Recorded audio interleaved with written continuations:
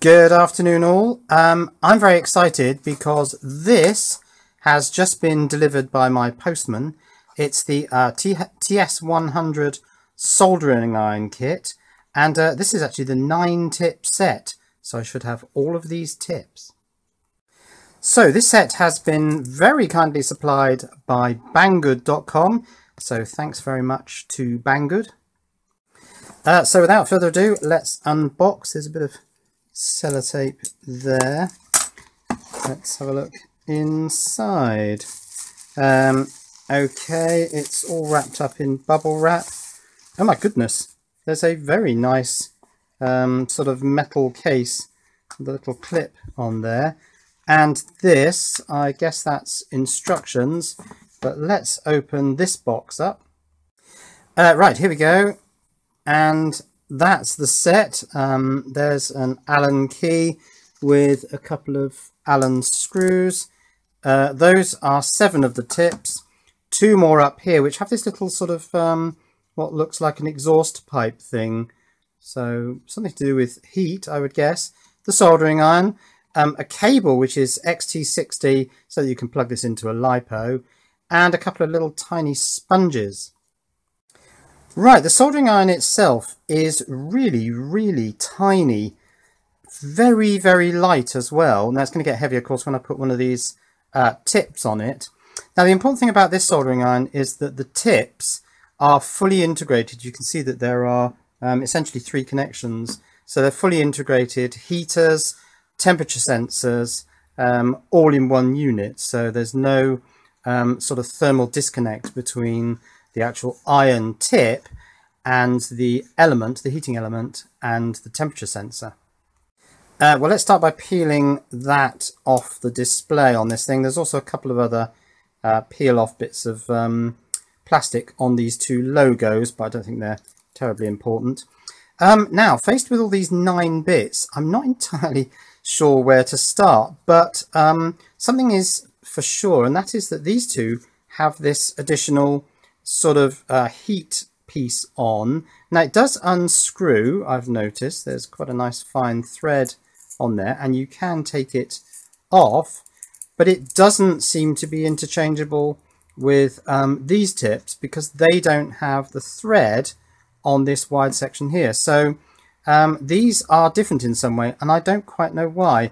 I think perhaps I'm going to have to read the manual. However, what I think I might do is pick one of the very large uh, tips because I've got a particular job I want to try this soldering iron on because I really struggled with it the other day and it'd be a very interesting test to see if this can do it. So I think I'm going to use um, this tip. It's got a very large diameter sort of wedge shaped, I don't know, 45 degree cut tip. Clearly it's designed for very large item soldering iron. Let's take a look at the model number of that. Um, so this one is the TSC4. Let's take a quick look at the manual and some of the other tips. Yeah, so here's the page on choosing soldering iron tips. It just says, note, choosing the right tips will help you work more efficiently. Doesn't actually really say a lot, doesn't it? But um, yeah, I quite like the look of this one, TSC4. It's got that massive large diameter tip. Um, yes, it is 45 degrees. 11 millimeters from, well, there to there. Right, so let's use this Allen key to undo um, the top Allen key. There's also another one in the bottom, so it appears you have to undo both. Uh, let's put that in. Yeah, we've got some spring-loaded contacts in, in there by the feel of things. So I'll push that fully home and tighten these two Allen screws. I'm not going to tighten them too crazy, just nip them up yeah, I think that's about it. As long as that doesn't pull out, that should be fine. And now I can apply a power to there. Um, oh, now is that a 2.5 or a 2.1? So this is the plug from my solar power system, which is 2.1, and it won't actually go in there. So this has a 2.5 millimeter diameter pin. Now, have I got some sort of adapter? Uh, yes, I have. I've got um, a female-to-female -female coupler there. That's a 2.1. That's a 2.5. That should go into the iron. Let's plug it in. and it boots up and says version 2.18 and it says press that bottom button which is button A.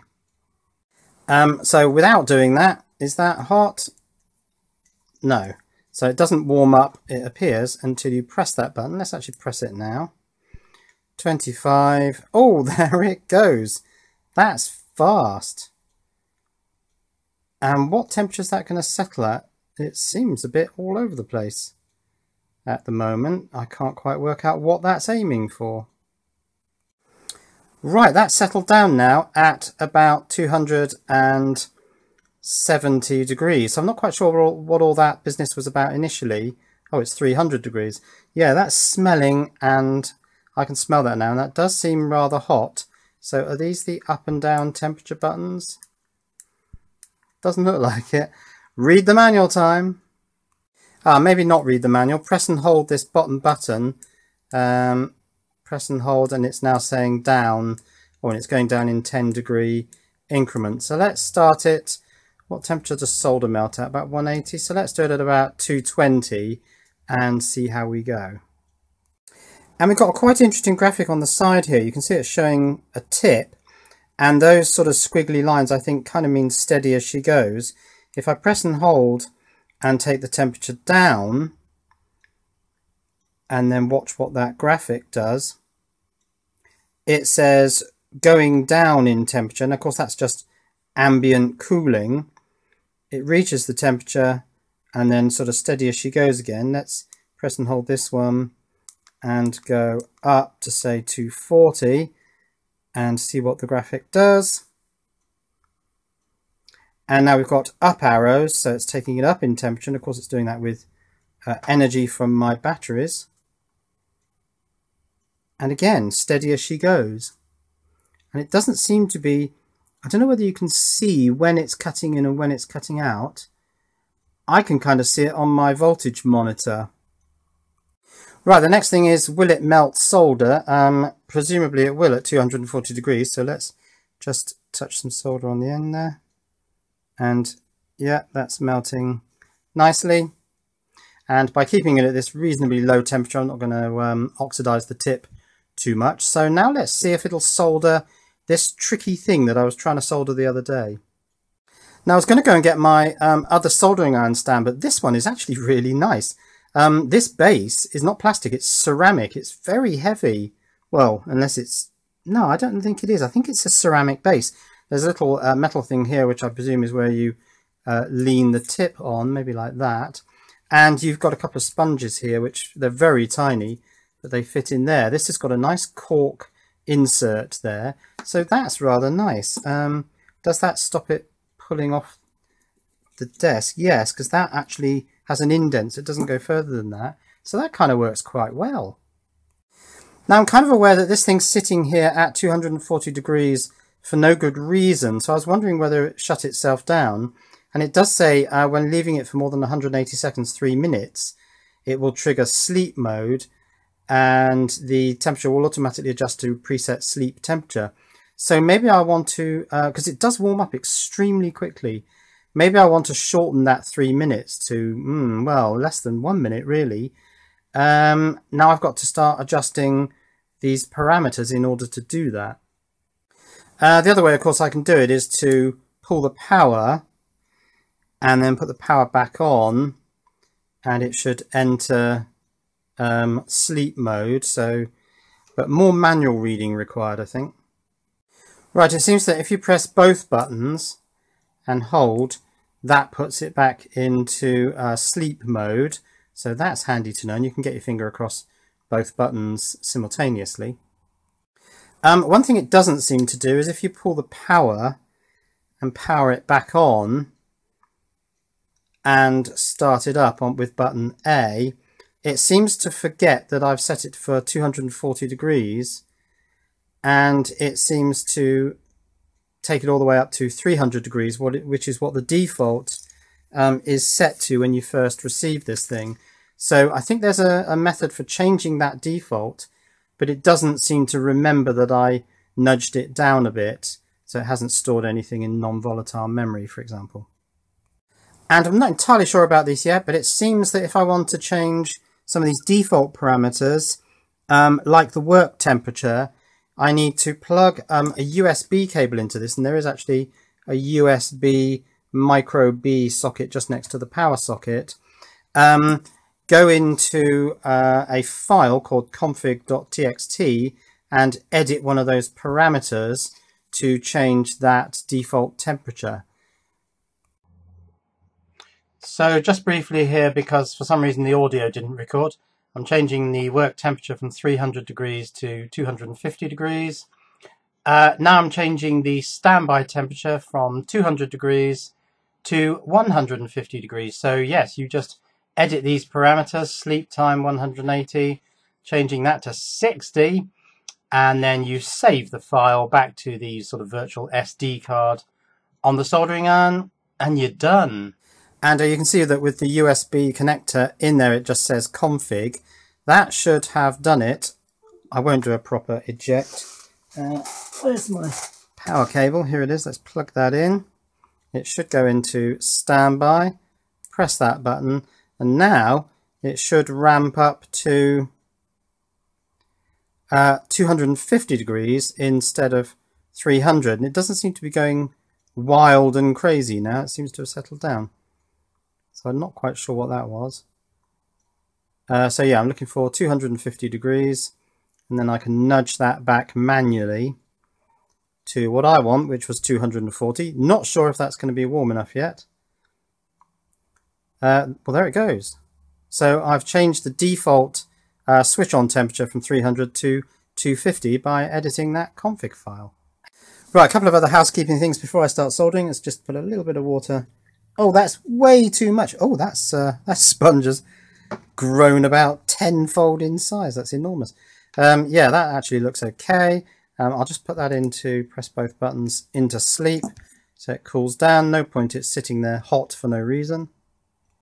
So this is what I wanted to have a go at. It's um, this link wire that runs between these two uh, fork terminals between these two supercapacitors and I wanted to solder it in place and I didn't bother to attempt it on my 18 watt um, Antex iron. So I used the um, uh, temperature controlled soldering iron the one with the big base station the blue one and just about managed to get it to um, adhere or to melt but it wasn't very satisfactory. It didn't really want to do it.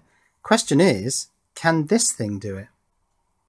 So let's um, switch the iron on and up it warms. Oh, the solder's gone a bit nasty on the top there. That's not going to melt yet, is it? What temperature is it up to? Not far away, so that should start melting now. Yep, that's melting. Okay, and let's apply it to here. I'll bring the camera down a bit, get as close as I can, but I'm working kind of upside down. Is it going to be able to melt the solder on these supercap connections with this monster great tip. And uh, yeah, I'm really struggling with this. Um, I've taken this up to 400 now, which is flat out, and it just is having a problem. Oh no, wait a minute. That's actually doing it now. I've got to be quick because I'm aware that these capacitors are getting, these capacitor terminals are getting very hot. But yeah, that's actually melting the solder. It's not flowing it quite and you can see that the temperature of the iron has been pulled right down. One thing I did think which might just help it a little bit is if I undo one of these bolts so there's much less thermal connection between um, that fork and that bolt. The only problem is that fork is now free to wander about. Oh yes, that's melting very easily. Yes, I mean that's that's melted incredibly simply. Um, that's done one side, so if I tighten that one up, and then undo the other side, I can probably get the other side done as well. Yep, that's working fine. That has completely melted. The uh, fork terminal was wobbling about while it was melted. This did drop in temperature, but I've made my solder joint. So it can do it, but you do have to help it along a little bit. Let's uh, turn that off. We'll put it in standby. And if you want to see what I've actually done, um, that's it sort of reflowed. Let's have a little closer look through the magnifying glass. Doesn't look quite as pretty from the other side. Uh, now, if you're shouting at the screen saying, yes, well, on 13.5 volts, actually it's only 13 volts at the moment because it's not sunny today, um, you're only going to be giving it mm, probably around 20 watts, then yes, indeed, this is only behaving as a 20 watt iron. If I gave it 16 volts, it can deliver 30 watts to the tip. And from a 19 volt sort of laptop power supply, this iron can behave as a 40 watt iron. You can even go higher than that. So yes, I've not given it the best chance of melting the solder on that particular uh, capacitor. So given that this actually could be a lot more powerful um, than I'm enabling it to be by my relatively low voltage, I have to say I'm really impressed with this iron. It's really tiny, so it takes up very little space on my desk. It can be sort of unplugged and packed away really easily. I'm loving this little base. It's really heavy because it's um, all ceramic. Now, I was just going to say that one tiny little improvement could have been a little flat across there so that when you sit it up, it doesn't fall to one side. But actually, having said that, once you plug in the power cable, of course, the rigidity of the power cable keeps it angled towards you. And then, of course, you can see the display at all times. Now, I've just come onto eBay to check the price of the soldering iron tips and it seems that you can get them for around $10 each with free shipping. Um, the two that have that screw-on sort of thing with holes in it, I can't quite uh, describe it. Um, it's something it's something to do with hot silver, and they've put these little rings round the tips. So maybe the tips are coated differently, but the manual says nothing about this. Um, they're a little bit more expensive. They're about uh, $14 each. Uh, yeah, so while I was looking at eBay, this thing has gone into standby. So that should be, yeah, that's cooled down now. So I can take that tip uh, out and, because uh, this is a ridiculously big one, and put in something a bit more appropriate for some uh, surface mount work. So I think I'll go for this one. It's got a nice fine tip. Uh, this one is called a TSI. So let's, uh, let's tighten that one up on both sides. Don't want to over tighten it. These look like quite small screws, quite a small Allen key. Also, you've got to keep this Allen key uh, to hand because, uh, well, you need it to change tips. So let's just uh, warm that up and uh, start working on. Now, uh, when I did this 8-pin chip, I tacked that corner pin on, soldered the other 7, but didn't resolder that one. So I'm just going to resolder that now, and I'll get in as close as I can. Right, let's give this a try. A little bit of solder on there. And just remake that joint. Yes, that's nice. Now I've gone back up to 300 degrees actually. I found that uh, when I was just uh, putting this on the sponge, it was tending to take all the heat out of that very fine tip. So I think a little more energy in the tip is probably a good thing. Perhaps 300 as a default was the right temperature after all. Maybe the uh, manufacturers of this iron know best. But I'm starting to think I'm going to quite like this iron, powered from my uh, solar power system. That doesn't give you the maximum uh, energy into the iron, into or power I should say, in terms of watts, but it's what I'm used to. I mean, my 18 watt Antex, this is going to be uh, delivering about the same amount of power to the tip as that, but it's low voltage. What could be better? Uh, so yes, big thanks uh, once again to Banggood for sending me this TS100 soldering iron and uh, all the tips. I think I'm going to like this thing. Cheerio.